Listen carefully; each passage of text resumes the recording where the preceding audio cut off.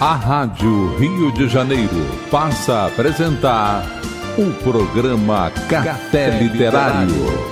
Produção e apresentação Henrique Fernandes.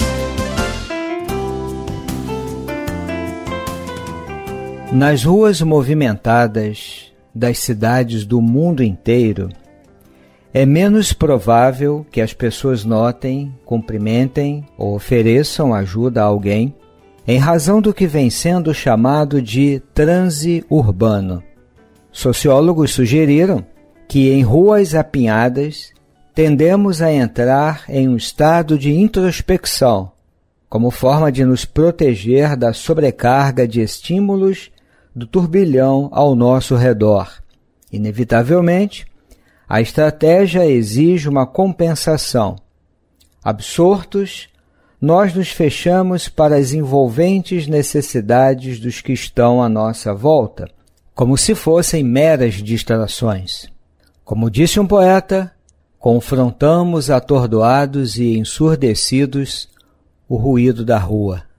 Amigo ouvinte, inicia o programa Café Literário pelas ondas fraternas da Rádio Rio de Janeiro. Eu sou Henrique Fernandes, apresentador. Nós acabamos de ler um trecho que aparece em uma das obras de um grande escritor, psicólogo norte-americano, um pesquisador da área, o Dr. Daniel Goleman. É autor de muitos livros, muitos artigos científicos, acadêmicos, onde ele se ocupa de um tema muito importante, um tema muito atual. Ele se tornou bastante conhecido através da sua primeira ou uma das primeiras obras, que se chama A Inteligência Emocional, uma obra clássica nesse sentido e que merece uma leitura cuidadosa, atenciosa, porque há muitas informações e muitos ensinamentos neste livro que se aplicam a educadores, terapeutas de um modo geral, clínicos, pais, filhos, todas as pessoas de algum modo interessadas no desenvolvimento humano, na compreensão das emoções e na gestão dessas respostas emocionais, uma obra, sob todos os aspectos, muito importante. E neste livro clássico ele também fala da empatia, mas aprofundou a questão em outras obras, obras mais recentes, como, por exemplo, a obra de onde nós retiramos esse pequeno trecho que já vamos comentar. O livro se chama Inteligência Social A Ciência Revolucionária das Relações Humanas, da editora Objetiva. Este livro já foi apresentado ligeiramente em um dos programas do Café Literário quando nós abordamos um capítulo específico. O amigo ouvinte pode encontrar na playlist no canal do YouTube a capa do livro, com, exatamente com esse título, Inteligência Social, e pode ouvir se desejar. Há uma outra obra dele onde ele também volta a falar da empatia, da inteligência social e da compaixão. É uma obra da mesma editora, uma obra menor, mais resumida e se chama O Cérebro e a Inteligência Emocional. Novas Perspectivas. Também uma obra excelente, já vamos comentar este livro. E uma das mais recentes, que é de 2013, em inglês, na, no idioma original, e chega ao Brasil em 2014 pela editora também Objetiva, se chama Foco. A atenção e seu papel fundamental para o sucesso. Também neste livro, ele vai falar da tríade da empatia.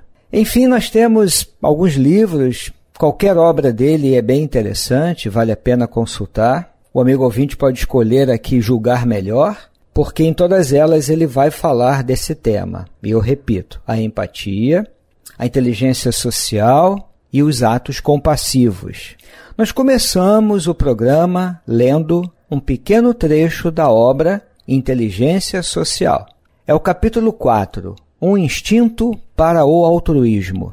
Porque ele me fez pensar seriamente sobre o mundo, a sociedade, os nossos hábitos em sociedade, como lidamos uns com os outros.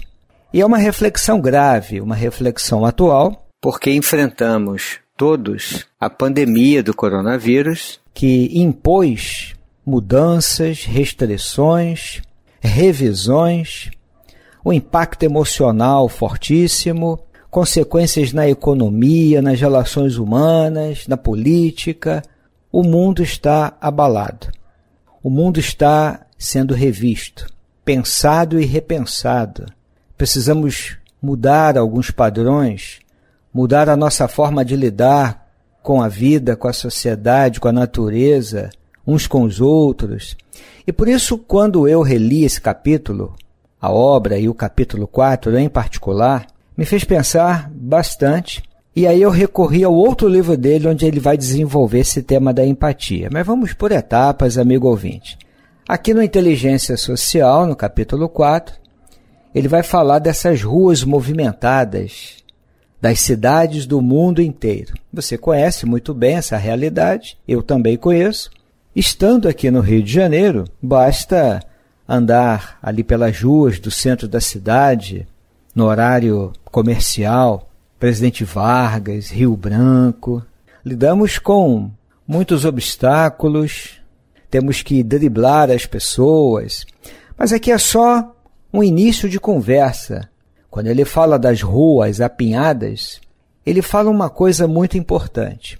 Quando estamos nos grandes centros urbanos lidando com tanta agitação, nós temos como que uma espécie de necessidade ou uma tendência a entrar em um estado de introspecção. O que, que é isto? Voltar-se para dentro. É sair daquele canal de prestar atenção a tudo, prestar atenção a todas as pessoas, a tudo que está acontecendo, ao contrário disto, nós entramos nessa introspecção. Isso não é por acaso, é uma espécie de autoproteção. Nós queremos nos proteger, queremos um pouco de segurança. Mas proteger de quê? Como ele fala, da sobrecarga de estímulo, de estímulos, do turbilhão ao nosso redor. Então, o que acaba acontecendo?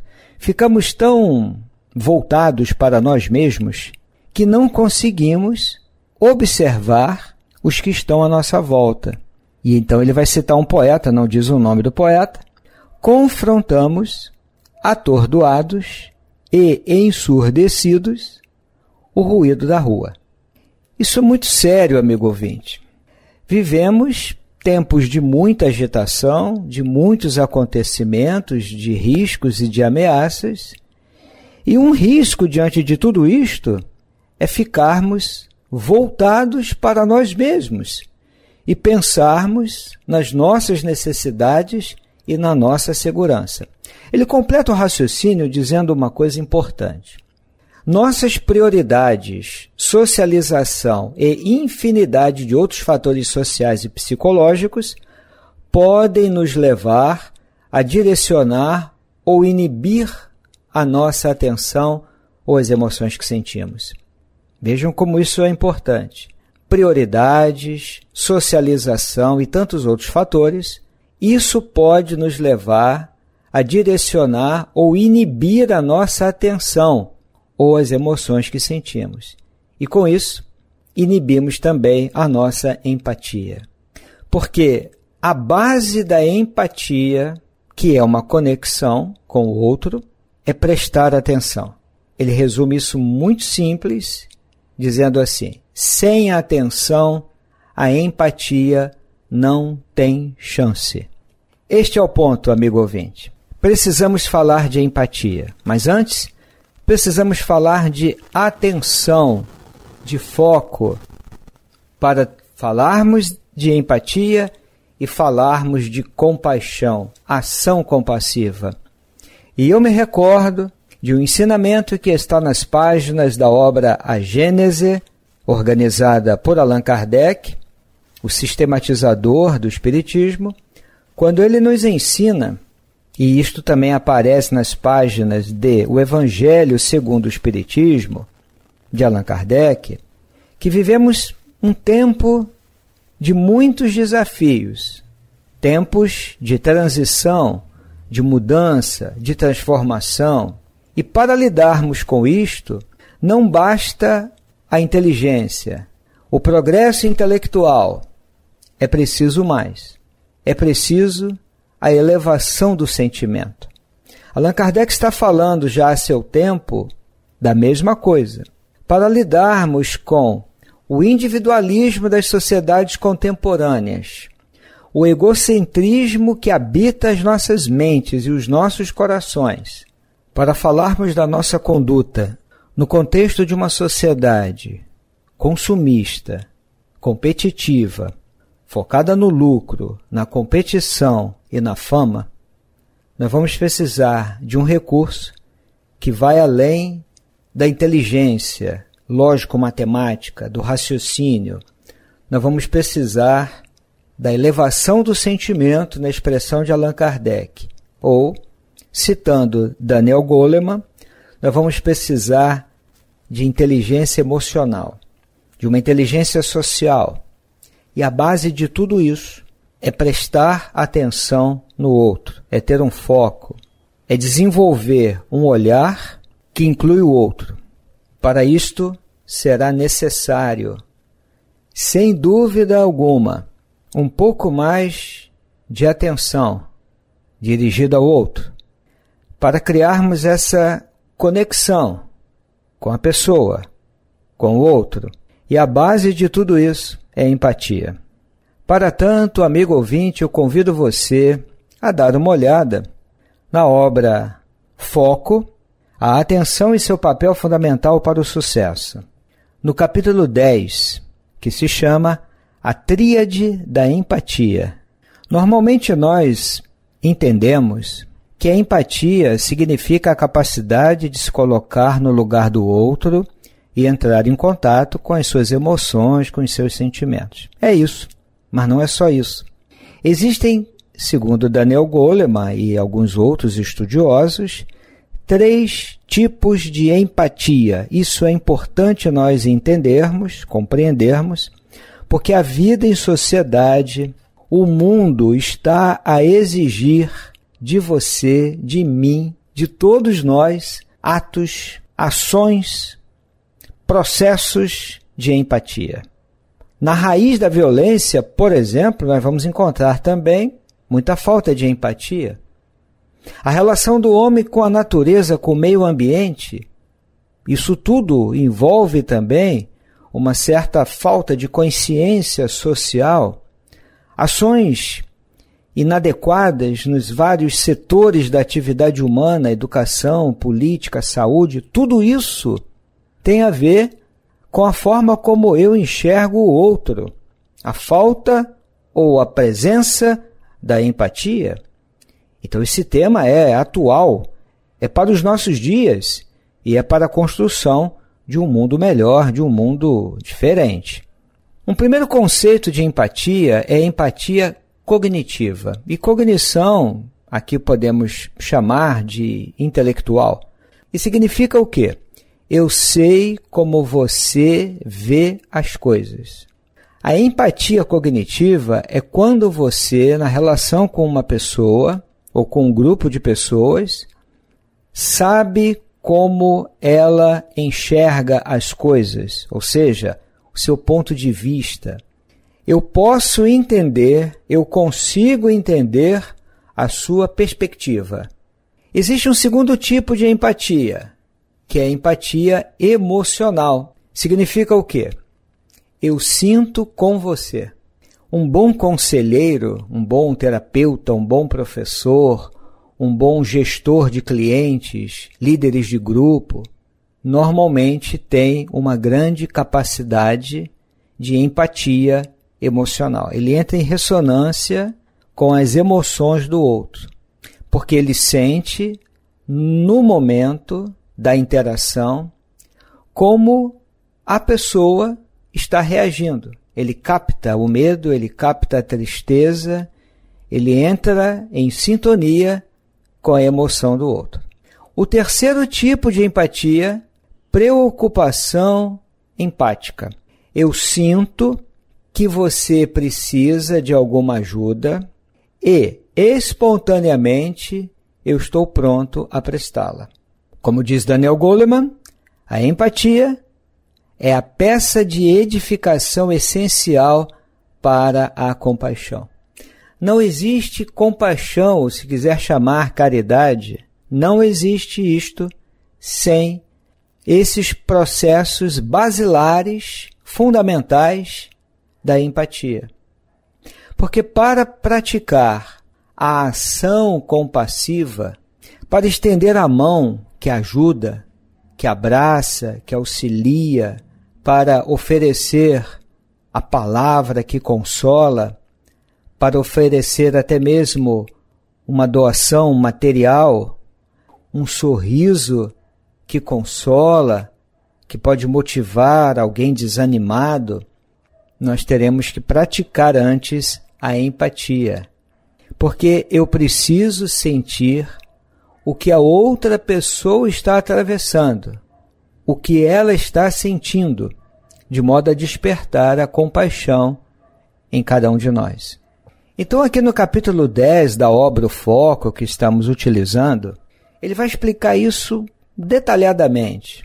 E um ponto que me parece relevante, amigo ouvinte, que ele nos ensina, citando alguns estudos na área, um deles é da doutora Tanya Singer, que já apareceu aqui em algum programa do Café Literário, é uma psicóloga bastante reconhecida no meio acadêmico, diretora do Departamento de Neurociência Social do Instituto Max Planck para Cognição Humana e Ciências Cerebrais. Esse instituto fica na Alemanha. Ela é bastante conhecida na área pelos seus estudos e ela fez uma pesquisa bem importante sobre a relação entre empatia e autoconsciência. Isso tem muita importância, amigo ouvinte. Qual é a relação entre a empatia e a consciência que nós temos de nós mesmos? A doutora Tanya Singer concluiu com seus estudos que você precisa compreender os próprios sentimentos para conseguir compreender os sentimentos dos outros. Então vamos juntar isso tudo? Eu preciso estar em contato comigo, quer dizer, com os meus sentimentos. Portanto, eu preciso desenvolver a autoconsciência dos meus estados emocionais, saber que o que eu sinto é medo. Isso que eu estou sentindo aqui no peito apertado se chama angústia. Isso que eu estou experimentando nesse momento da minha vida é contentamento, é satisfação, isso é inveja e assim por diante. Eu preciso ter a autoconsciência dos meus próprios sentimentos, compreendê-los, para conseguir compreender os sentimentos dos outros ou seja, a empatia depende da autoconsciência.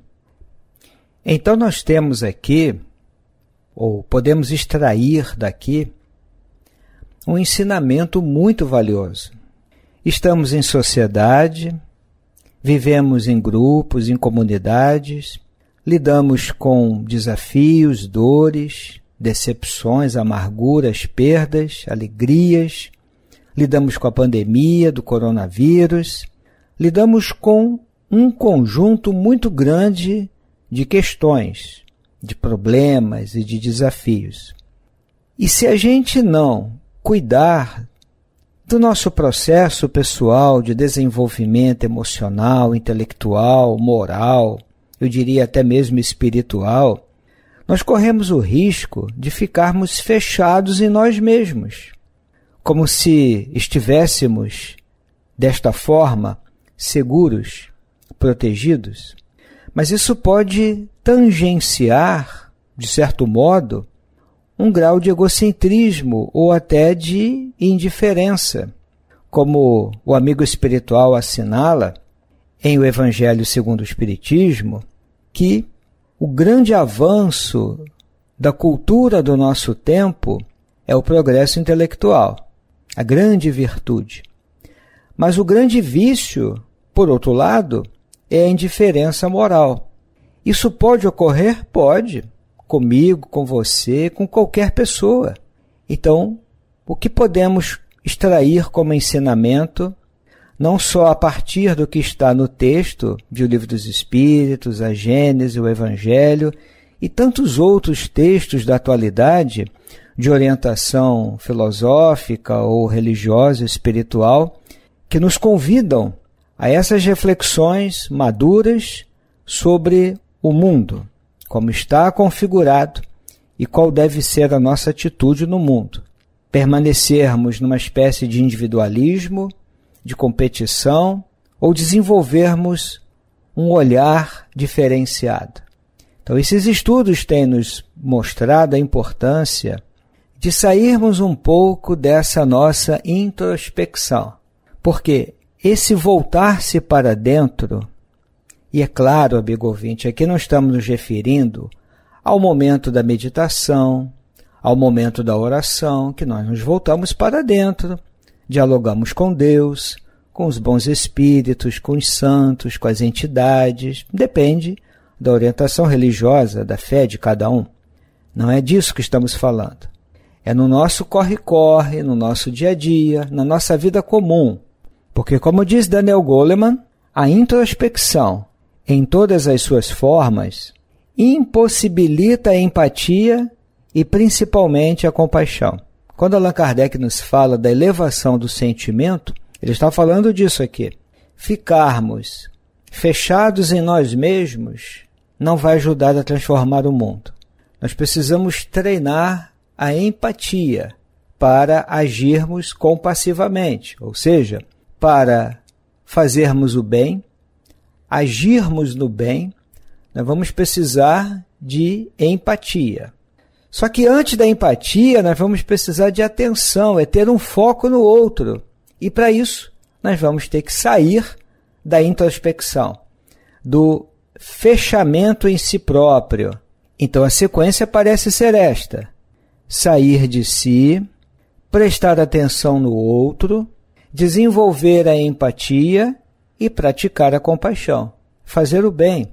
E para isto nós vamos aprofundar ainda em outro programa esse conceito de empatia, que foi aqui colocado inicialmente, mas vamos aprofundar. No programa de hoje, nós estamos destacando a importância da empatia e nomeamos os três tipos. Agora, em outro programa, vamos aprofundar um pouco mais. Para completar, eu leio ainda Daniel Goleman, quando ele diz que quando nos concentramos em nós mesmos, o nosso mundo se contrai, ao passo que nossos problemas e preocupações avultam. Mas quando voltamos o foco de nossa atenção para os outros, o nosso mundo se expande. Os nossos problemas são relegados à periferia da mente, eles não são esquecidos e muito menos desprezados. Olha a expressão que ele usa. Nossos problemas são relegados à periferia da mente e assim parecem menores. Enquanto, por outro lado, aumentamos nossa capacidade de conexão ou de ação compassiva.